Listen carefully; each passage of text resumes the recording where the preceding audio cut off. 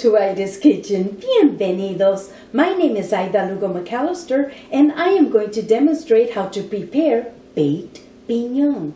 Piñón is a plantain meat pie prepared with layers of ground beef mixture, long slices of fried ripe plantain, string beans, and beaten eggs. This dish was traditionally prepared in a skillet and cooked on top of the stove. Today we prefer to bake and add cheese to the piñón.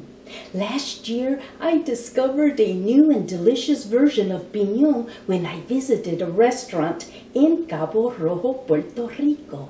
It was presented in individual serving pans and prepared with pieces of fried ripe plantain, chunks of ground beef, not the traditional minced texture, and sprinkled with cheese. No beaten eggs or string beans were added to this dish. All I can tell you is that it was the best baked piñón I have ever tasted, so I decided to create my own version. For the meat mixture, I will be using one and a half pounds of ground turkey. Let's start with preparing the meat. In a three-quart saucepan, heat two tablespoons of extra virgin olive oil over medium heat.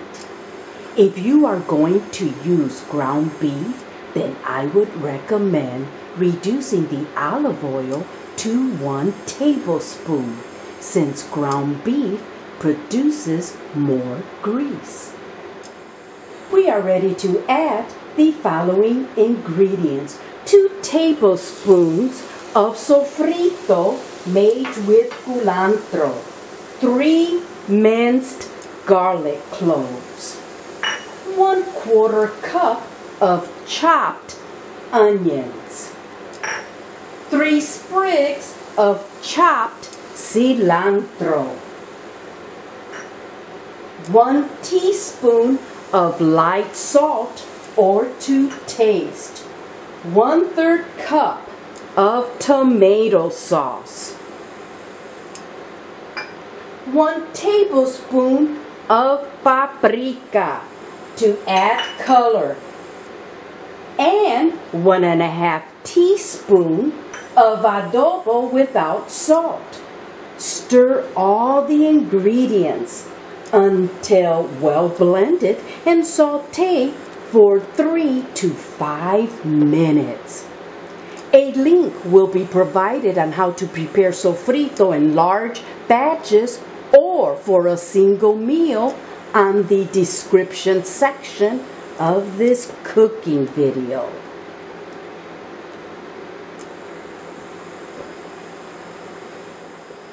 You can definitely smell the herbs, vegetables, and spices.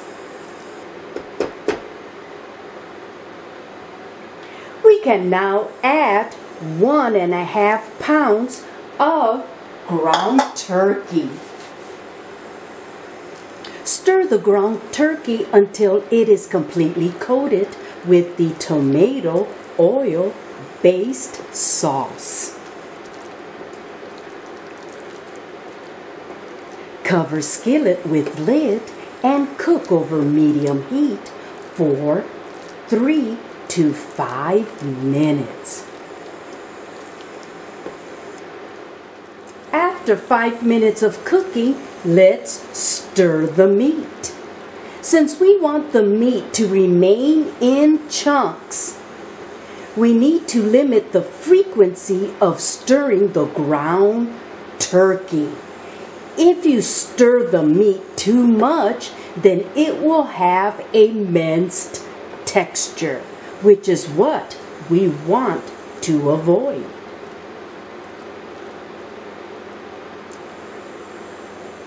Cover skillet with lid and continue cooking for approximately 25 to 30 minutes over medium heat, stirring occasionally. The meat mixture is done after 30 minutes of cooking. you can see the chunks of meat in skillet. Place in a bowl and set aside. The next step is to saute several ripe plantains. This is a ripe plantain. The flesh is slightly firm with yellow skin color that has several dark spots. The plantain is a member of the banana family, but is much thicker and starchier than the familiar banana. For this recipe, you will need three ripe plantains.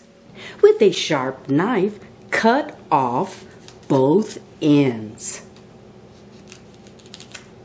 And make a slit lengthwise, barely touching the flesh from top to bottom. Peel the plantain.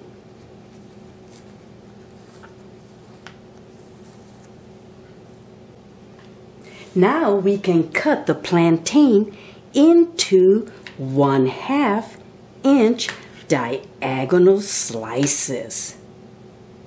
One plantain will yield five to eight slices depending on the size of the plantain. In a three quart saucepan, melt four tablespoons of margarine made with extra virgin olive oil over medium heat. Place the plantain slices into saucepan once the margarine has melted. Saute until they have a golden brown color on both sides. As the plantain slices brown on one side, turn them over to brown on the other side.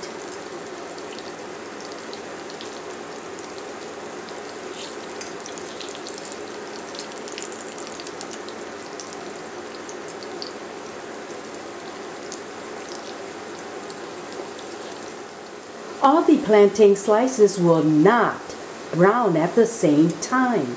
Therefore, when the plantain slices become golden brown on both sides, remove them from saucepan and place on a cutting board. Continue this process.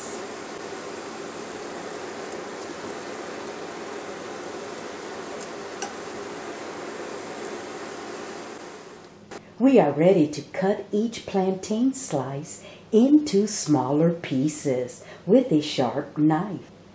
Continue this process for the remaining plantain slices. When done, place them in a bowl and set aside.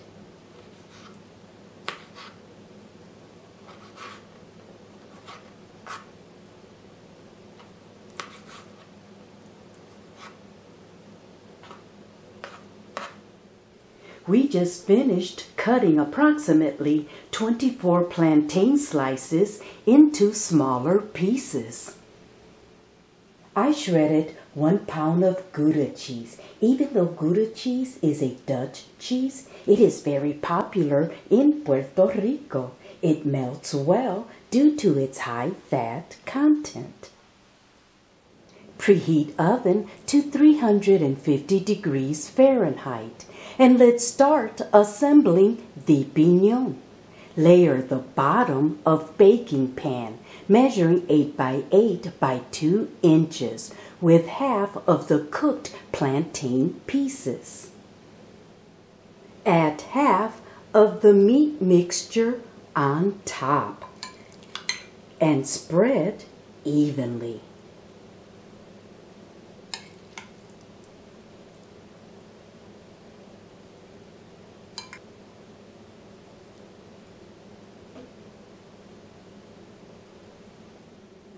Cover the meat mixture with shredded Gouda cheese. You can adjust the quantity of cheese. Repeat this process by adding another layer of cooked plantains, meat mixture,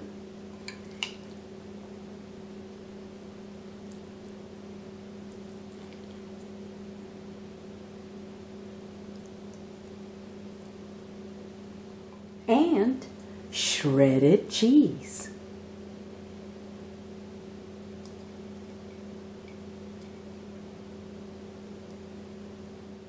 We just assembled the piñón and now it is time to place in the oven. Bake for 20 to 30 minutes or until the cheese is completely melted. We are done baking the piñón and it looks delicious. You can see all the different layers for the baked piñón. You can add the ingredients of your preference and or increase or decrease the quantity of each ingredient listed. Also, you can find many brands of adobo without salt online for you to select. Let's taste the baked piñón. Here is a chunk of meat with a piece of plantain covered with melted cheese. Mmm. Mmm. You can taste the sweetness of the plantain along with the saltiness of the cheese and meat. Mmm. What a great combination for a sweet and savory dish. Que rico! Mmm. Mmm, mmm. I hope you have enjoyed watching my YouTube video on how to prepare baked piñón. Thank you for watching my YouTube cooking video. Please share, like, and subscribe to my YouTube channel. If you would like a copy of my cookbook, visit my website, aidaskitchenboricua.com and click on the cookbook tab. My cookbook is a bilingual Puerto Rican cookbook and it contains 42 authentic Puerto Rican recipes that I learned how to cook while living in Puerto Rico. This side is the English version. If you flip the book over, the other side is the Spanish version. Again, thank you for watching my YouTube cooking video.